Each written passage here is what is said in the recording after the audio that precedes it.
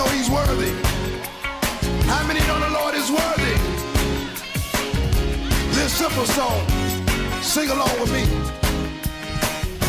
Lord, you're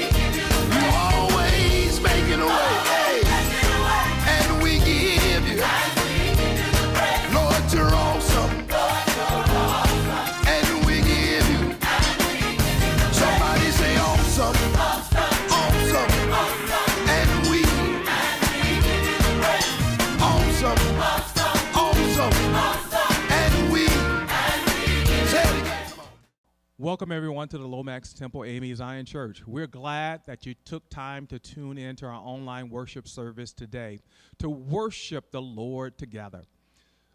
I just want to say that 1 Corinthians says this in 12 12. It says, The Apostle Paul simply says this just as the body is one and has many members, and all the members of the body, though many are one body, we're all in Christ. And because we are one body, when one of us hurt, you know, all of us hurt. And some of our families have lost loved ones this recently. And I just want to lift up those families. I want to lift up the Lawson family, the, the Kennedy family, the, the, the Purify, family, and also the Edwards family, who is Joey Edwards in Flint, which is a great friend of mine. And we just lift them up right now in prayer. And while we are not physically together, I just want to praise God that we can come together through this means of worship. We're still running this race of life together in unison towards the same finish line. And we really miss seeing everyone's faces. So please stay tuned at the end of this um, sermon where you'll get a chance to see some testimonies as we continue to seek God to heal our land as believers, we trust God truly as who is working things out for our good. A time is coming and has now come where the true worshipers will worship the Father in spirit and in truth, for they are the kinds of worshipers the Father seeks. God is spirit, and his worshipers must worship him in spirit and in truth. So let us come together and let us worship God together at this time.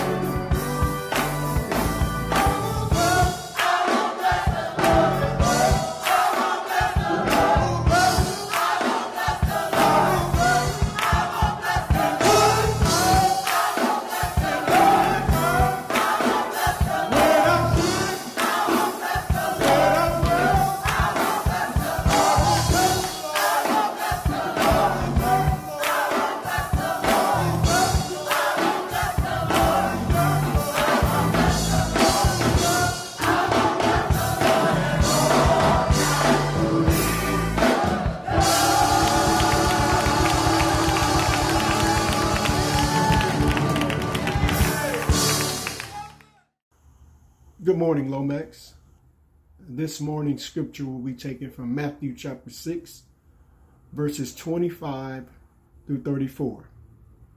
I'll be reading out of the NIV. Amen. Therefore, I tell you, do not worry about your life, what you will eat or drink, or about your body, what you will wear. Is not life more than food, and the body more than clothes? Look at the birds in the air. They do not sow or reap, or store in barns, and yet your heavenly Father feeds them. Are ye not much more valuable than they? Can any one of you, by worrying, add a single hour to your life? And why do you worry about clothes? See how the flowers of the field grow? They do not labor or spin. Yet I tell you, not even Solomon in all his splendor was dressed like one of these. If that's how God, if that's how God clothes the grass of the field, which is here today and tomorrow is thrown into the fire, will he not much more clothe you? You of little faith.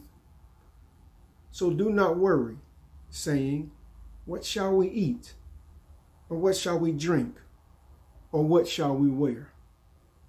For the pagans run after these things, and your heavenly Father knows that you need them. But seek ye first the kingdom of God and his righteousness, and all these things will be given to you as well. Therefore, do not worry about tomorrow, for tomorrow will worry about itself. Each day has enough trouble of its own. Lomax, that's our scripture for this morning. God bless you. Amen. We're so glad that you got a chance to make it back. We're going to be looking and beginning really at the Word of God, and we're going to be looking at Matthew chapter 6. And I want to look just at verse 25. So it's Matthew chapter 6, looking at verse number 25. And this is Jesus speaking to his disciples. And he just simply says this.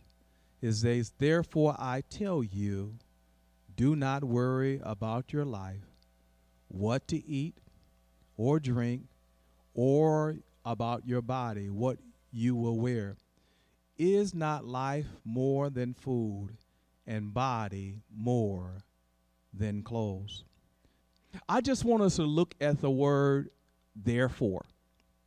As we look at this word, therefore, we is is setting us up to let us know that there was something said prior to getting to this point. Therefore. So Jesus is telling them, therefore, since I have explained all this to you, then you just need to do these particular things. I want you to know that when I look back at some things that I've been challenged with this week with regards on going to two funerals and hearing of a friend's death, God is still reminding me that therefore he still yet sits on a throne. You need to get this and understand that when we experience different challenges in our lives, sometimes it's just a small distraction, even though it's going on in the world all at the same time. See, and many times I find myself riding from Grand Rapids to Detroit. And on my way to Grand Rapids and going back to Detroit, going back and forth. But if I leave early in the morning, every now and then I, I run into some fog in Lansing. And you need to understand that when you run through fog, you can't see too far because all you're able to see is just the fog that's in the way at this current time. But at times when we look at life, we have to begin to realize while I'm driving through the fog, I have to depend on what I used to do, how I was taught, how I need to be driving. I have to look back on how I've been trained from driver's ed to experiencing. So therefore, I have to reflect on what I've already known to manage and to make it through this fog. You need to understand that worries, that concerns, that fears are sometimes a foggy situation. And we have to realize and depend that we have to look back on what God has said to us in our lives. So therefore, we have to look back to what the word of God is saying. When we look at fog in our lives, when we look at the things that cause us distraction in our life, Earl Nightingale say, said it this way. He wrote an article as it relates to worry. He said that 40% of our worries is dealing with something that will never happen. Then he said another 30% of our worries is dealing with something that happened in the past. And then he say 12% of our worries is dealing with something as it relates to our health. And then he say 10% of our worries is something that's petty and really doesn't matter. Matter of fact, it's only about 8% of the things that we're concerned about that might cause us to have true concern. But when we look at all this and what it adds up to be, it's merely fog that's in our lives because God is telling us He has everything, yet still under control. When you look at what's taking place, when you look at the 8% of the worries that we have and says that maybe those are the only things that we need to be concerned with and 98% of the things are the things that really is just fog and causing distraction is just getting in our way. But God is saying, "I have you covered." And if you look at fog itself and, and about seven blocks of fog, you can put seven blocks of fog in a 10 ounce glass. See, fog is just merely a distraction. And Jesus is just telling them since this is going on in your life, therefore you need not to worry because it's just merely a foggy situation. And God gives them, we see Jesus giving them instructions on what they need to do in order to not worry. See, when we look at our lives, God has always given us instructions to why we should not worry. When we look at it, it's merely just fog. Therefore, don't worry because God has given us instruction. Jesus gives them instructions about how they ought to live and some things they ought to do as it relates to chapter 6. When we look at chapter 6, we begin looking at verses 1 and 2 of, of chapter 6, and we see Jesus telling them just don't practice righteousness just to be seen, but live it because that should be your lifestyle. When we look at verses 3 and 4, Jesus tells them, guess what? Anytime you're giving to people who are in need, don't sit there and try to tell everybody about what you've done for somebody else that you might get a reward from them. God says that I see you in the private and I will reward you so you don't have to worry about it. Jesus is telling them just live righteous, act righteous. Everything you ought to do, you ought to do it with integrity. Matter of fact, when you give to people, you're not giving it so somebody puts your name on a banner, but you're giving it because that the, you see God's people in need. And when you get to verses 4 through 15, Jesus is telling them, guess what? He told them about how to live, he told them about how to give, and then he tells them how to pray.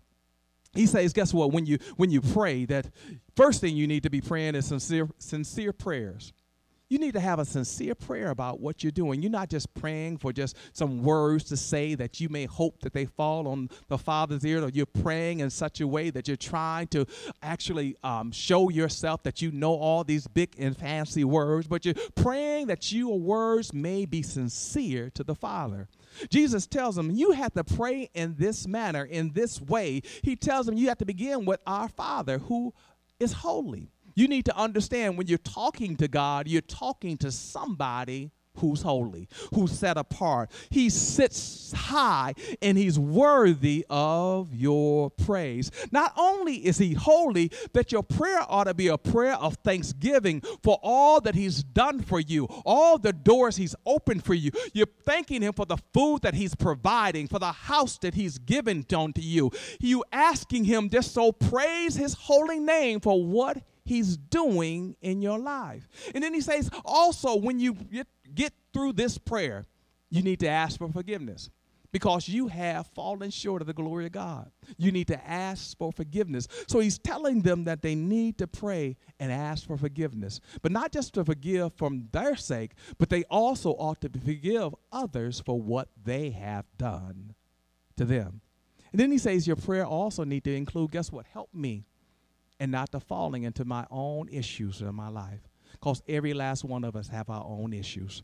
Every last one of us is dealing with something that causes us to fall and fall short of the glory of God. He's saying that you need to be praying to me to give you help now unto him who's able to keep you from stumbling or falling. You're asking God to help you in the midst of your situation.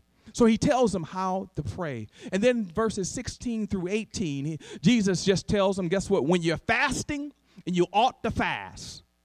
You're not doing it in a way that everybody knows that you're fasting. He says, matter of fact, straighten up, clean your face. Make sure you're not looking so miserable about this fast because you're doing it that you may get closer to God.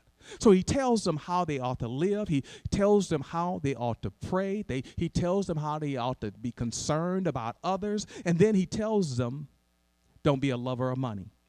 Don't get caught up in loving money and, and, and things. He says, you, you, you, when you love one, you will hate the other. When you love money so much, you will despise God. When you love money so much, you will despise giving to God. He, he's trying to tell them, guess what? If you love God, that's what you need to be seeking. He says, seek first the kingdom of all its righteousness, and everything else will be added. He's trying to get to the point to understand that God, if you seek God, God will bless you with everything that you are needing. Proverbs 18 and 16 says it this way A man gifts makes room for him and brings him before great men. See, Jesus was instructing them just to do what you needed to do. He'd take care of everything that you needed. So, therefore, there's no need for you to worry. Therefore, there's no need for you to be concerned because I'm telling you, God is saying, I got your back. There is no need for you to worry when you're living a lifestyle giving yourself to God. And then Jesus gives instructions. Jesus gives also he, he gives them instructions, he gives them information. Now he he gives them instructions on how they ought to live. Therefore, don't worry because God has given us instructions. You need to understand this that when our order was given by the governor about staying at home, God is saying, guess what? I've ordained her as governor. I have ordained him as president. Understand that when we set that up, we have to follow what the law is saying. When it does not violate God's word, then we have to follow what the what the government is asking us and the law is of the land. I'm never going to ever say that because we are trusting in God, because we're leaning not to our own understanding, that we should disobey the law of the land. We need to understand that we cannot just simply say we're going to walk around with no mask or no gloves and no this and just ringing around when God is saying, I have set them over you. See, understand, we can't discount or ignore what these safeguards are. See, anytime God is asking us and putting people in place, He's also giving and, and leading them as long as it doesn't go against God's word. We have to follow what the law is saying. And I want you to be safe out there making sure you're wearing masks and gloves. And when you go to the pump wearing gloves to, to, to fill your tank and throwing them away appropriately. But jesus is also saying do not worry. He says therefore even in the midst of the challenge that we are experiencing jesus is still informing us therefore i tell you do not worry. Even in the midst of what's happening therefore do not worry Point two is therefore don't worry because God has given us information. See, when we look at verse 25, it says, Therefore I tell you, do not worry about your life, what to eat, what to drink, about your body, what you will wear. If is not life more than food, and the body more than clothes. See, don't worry about life. Don't worry about your day. Don't worry about your food. Don't worry about your closing. He says, Isn't life more than life? Isn't life more than those things? Because those are just things in, in our lives. God is saying, Isn't life more than just these things? And I understand that many of us are facing issues as it relates to job or our house or our stuff, but Jesus is still informing us, therefore, do not worry. Paul writes about this in the Bible where no matter what it is that he's experienced and no matter what it is he's going through, he even though he goes through some ups and some downs, Paul is telling us in Philippians 4, he says, I know what is it is to be in need, and I know what it is to have plenty. I have learned the secret of being content in any situation whether well fed or hungry, whether living in plenty or living in want. I can do all things through Christ who strengthens me.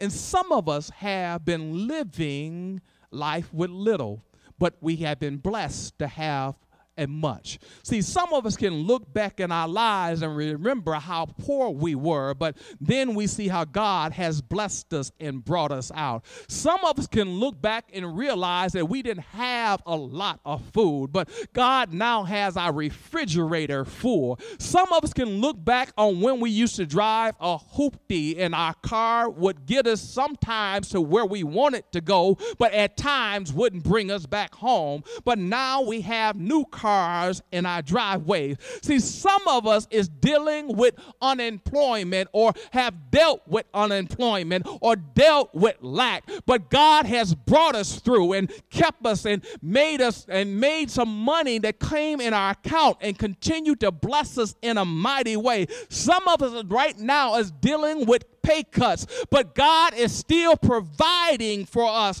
And so we thank Him for what He's doing in our lives. Paul is so confident as it relates to what God is doing. He said, Maybe there was a time when I had little, maybe there was a time when I had lack, but I'm knowing that one thing I do know all things I can do, I can do through Christ who strengthens me. See, the psalm writer writes this this way. He says, I when I was young and now I'm old, and yet I have never seen the righteous forsaken or a seed begging for bread. You need to understand that Jesus is saying, therefore I tell you, do not worry about anything that comes up in your life because I have you covered. So do not worry about anything. Jesus is providing them with, with information. He says, therefore, don't worry because God gives us information. Therefore, don't worry because God gives us instructions. God has given us everything that we, we need. See, see, we have to understand that even now, and I know there's some who are, are so fearful of what's to come, but God didn't give us the spirit of fear. He really didn't give us the spirit of fear, but He gave us a power and love and a sound mind. And even though we're walking through taking precautions, we're not afraid of what's happening. Because when I put my faith in Him who's able to keep me and keep me from stumbling, who's able to save me and protect me, who's able to heal and redeem, He's that one who saves all these things. So when He says, therefore, I don't have to worry because He's been telling me about all the things He's been doing in my life. So therefore, I don't have to worry about my life. I don't have to worry about what I'm going to eat. I don't have to worry about what I'm going to drink. I don't have to worry about life itself because He has my back. So He's explaining to me, He gives me information, He gives me instructions, and so therefore I don't have to worry. And point three is therefore don't worry because the Lord gives us an illustration. He gives us an illustration, an illustration to what's going on. Because every now and then, many of us don't get the in- instructions that's been given to us. Many of us don't hold to the information that's been given to us. But God also provides us with an illustration. When we look at verse 26, when we look at verses 26 through 31, we see Jesus giving an illustration to his people. Jesus gives an illustration to his people. Verse 26 it says, Look at the birds in the air. They don't sow or reap or store away barns, and yet your heavenly Father feeds them. And are you so much more valuable than they are? See, you need to understand that, that when you look at Matthew 10 and 29, Jesus says this over there. He says, Are not sparrows sold for two pennies? And yet not one of them have fallen to the ground outside because your Father cares. And even the very hairs of your head are numbered. So don't be afraid, for you're worth more than sparrows.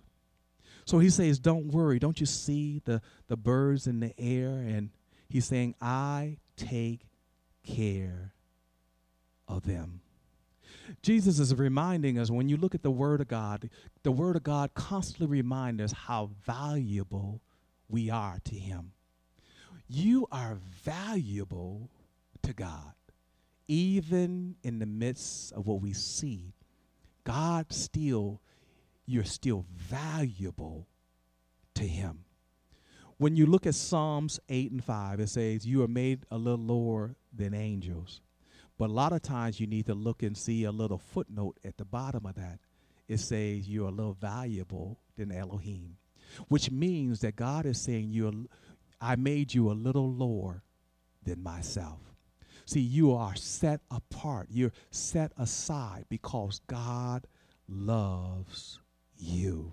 You are important to God.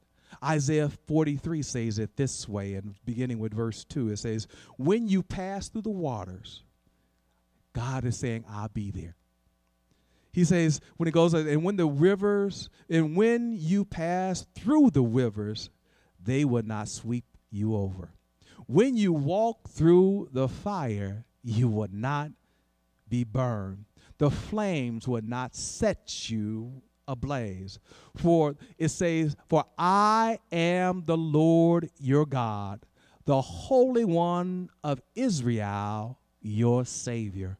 So you are important to the Father. You are important to the Son. You are important to the Holy Spirit. You are important to the to God, the Godhead himself. See, God understands your situation and He loves you in the midst of all that we are experiencing, and He's right there with us. See, the Word of God reminds us that God has a great love for us and He lavishes that on us. God is telling us that He loves us more than we can think or can ever imagine. So, therefore, there's no need to worry because God gives us this illustration of what's going on. And then it moves on to verse 27. It says, Can anyone add one hour of your life? By just worrying. See, you need to get this and begin to understand that when we begin to worry and be concerned about everything, we're not adding to our lives. Matter of fact, we're taking away from our lives because worry leads to hypertension. Worry leads to us um, doing things that we shouldn't be doing. Worry ends up causing us to lose more of our lives than actually gaining more of our lives. God is saying, therefore, do not worry about your clothes. Don't worry about uh, what you're going to wear. He says, look at the flowers and how they grow and how they're made. He's saying, and, and, and they did not labor or spin. And yet I tell you that not even Solomon in all his splendor was dressed like one of these. In verse 30, he says that if that is how God clothed the grass of the fields, which are here today, and gone tomorrow and thrown in the fire. Will he not much more clothe you, O little faith? So don't worry, what shall you eat? Don't worry, what shall you drink? For understanding that God has our back. He's the one who's taking care of everything that we're dealing with. God gives us this illustration that we may know that He's right there with us. He's right there providing for us. I know some of us have gotten out of some situation because God has brought us out of some tough situations. Some of us have dealt with abusive relationship, but God has rescued us from those situations. Some of us has dealt with I do not have a job and wondering where my provisions is going to come from. But God has made provisions for you out of nowhere. Some of us have felt as though we're losing our mind. We can't figure out where to go, if we're coming or if we're going. But God has kept our mind. He's kept us in our right state of mind. Even though we thought we was about to lose it all. Ain't it good to know that when we look back on what he's done and how he's doing it, we can thank God for what he's doing. So therefore, we don't have to worry. Therefore, we don't have to worry about what to eat. Therefore, we don't have to worry about what we can concern with. Therefore, we don't have to worry about the virus because God has our back. Say, therefore, don't worry because God, our Lord, loves us. He gives us these illustrations. Therefore, we don't have to worry because he gives us these instructions. Therefore, we don't have to worry because he gives us all this information. Therefore, we don't have to worry because he gives us all these illustrations. Therefore, we don't have to worry. And God also invites us to be with him. When we look at verse 33, it says, But seek first the kingdom of and his righteous righteousness, and all these things will be added. Say, therefore, don't worry about tomorrow, for tomorrow will worry about itself. Each day has its own troubles. See, the Lord invites us to seek Him.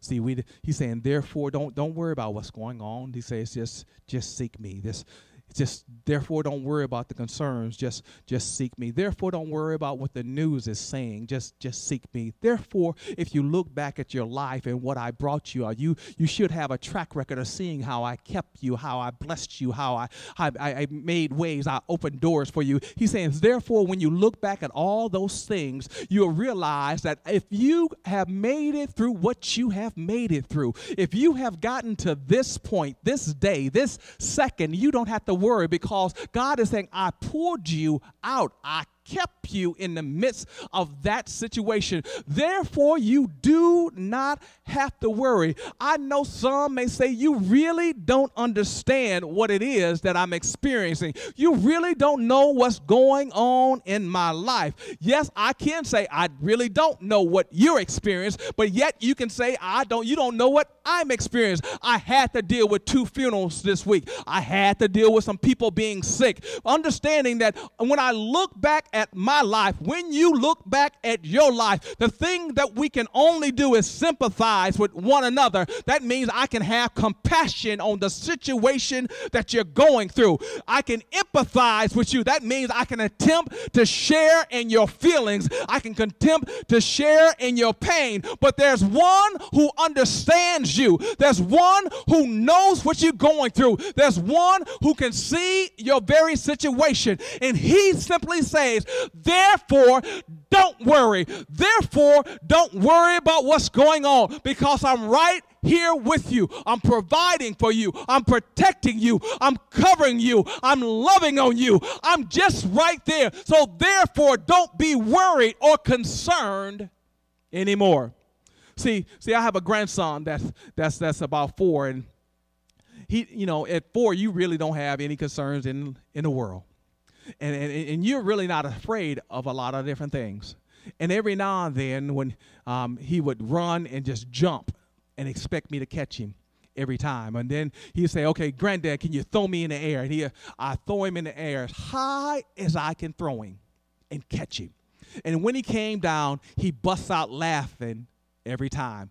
Once again, he say, "Do it again." I take him and I throw him as high as I can. And when I catch him, he begins to bust in laughter one more time. I remember standing somewhere and one lady came up to me. She said, You know what? That's making me a little nervous. And I can't understand why he's not nervous. I simply say to her, because when he looked at his track record, when he looked at what his grandfather had done, he realized that I never ever dropped him, not one time. So every time he goes in the air, he's in the air and can risk, risk being harmed, but he knew his grandfather would catch him every time. And I'm here just to tell you that you don't have to worry, don't have to be concerned because we serve a God who will never leave or forsake or drop us. If we realize the God that we serve, we don't have to worry, don't have to be concerned,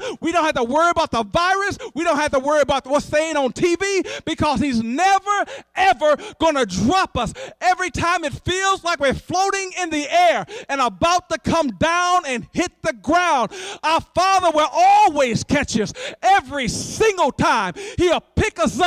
He makes us, turns us all around, understanding that God is right there with you.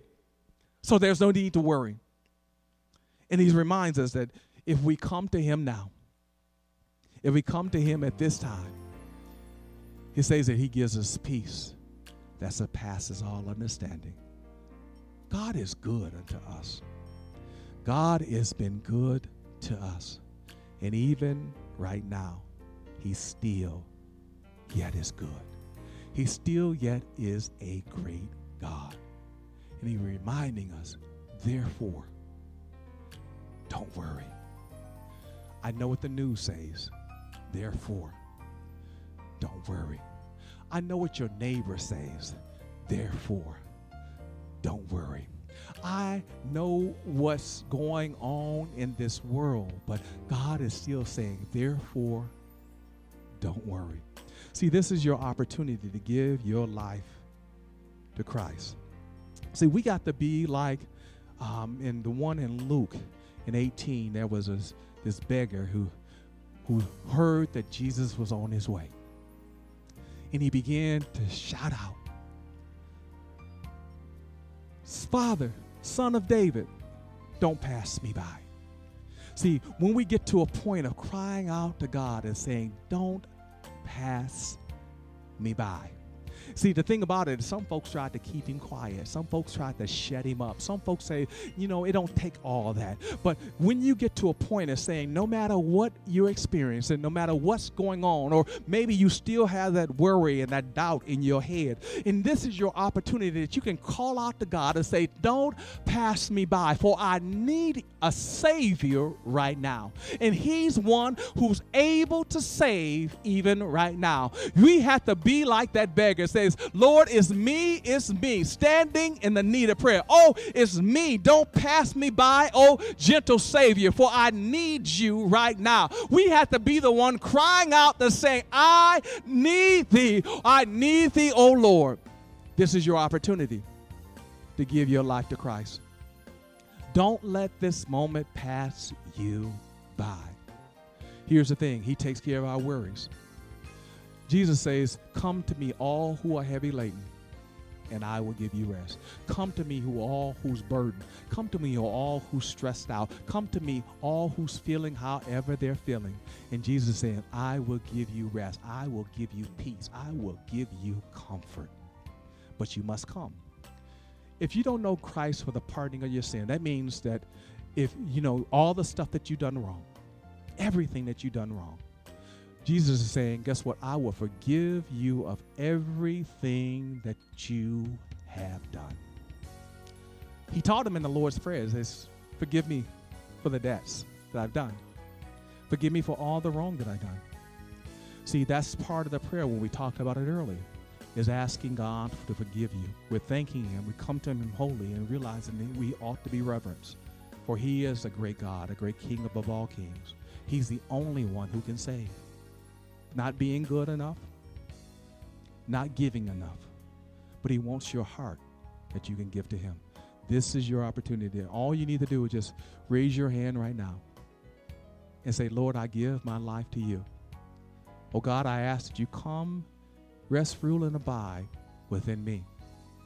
Begin to change me. Forgive me for everything that I have done. And it says, and I believe that you died and rose for my sins. And when we do that, says that what I would say is the word says that you confess with your mouth and believe in your heart that He is the Son of God, that He died and rose for our sin. It says that you shall be saved. He that I will give you life and that more abundantly. I, I will give you eternal life. God desires to bless us in a mighty way, but we want to also give our lives to Him. This is your opportunity because of all what He's done. Therefore, don't worry. Therefore, don't be concerned. Therefore, give your life to Him. The Word of God for the people of God. Thanks to be to God. We have come to an awesome part of the service now in which you all can participate in. As we recognize God as the owner of everything that we have, I want to express my appreciation for all of those who are faithful in their giving of their tithes and their offering. Um, as we look at this virus has hit Detroit, and we as we continue to talk about that, it's hard on our city of Detroit. And we want to continue to do the work of ministry by blessing God's people within our community. And we need your help and your assistance. I want to thank you again for so much, and I just appreciate all your prayers and all your financial giving. And we just ask that you continue to do what you're doing as we're doing the work of ministry with blessing our people. You can give right now through Zelle or Givelify, PayPal, and of course, you can always mail your checks in to 17441 Dequindre Street, Detroit, Michigan 48212. And please, if you have any questions, please contact our church, and the number is right down below. We thank you again for joining us this week for our online service. Join us every Wednesday for our intercessory prayer that begins at 6 a.m. Eastern Standard Time. Also, Bible study is on Wednesday, both at noon and 6 p.m. To access our online Bible study, simply go to our website, Lomax, www.lomaxtemple.org, and click on the Bible study link at the bottom of the page. Finally, we invite you to like our Facebook page and to subscribe to our YouTube channel.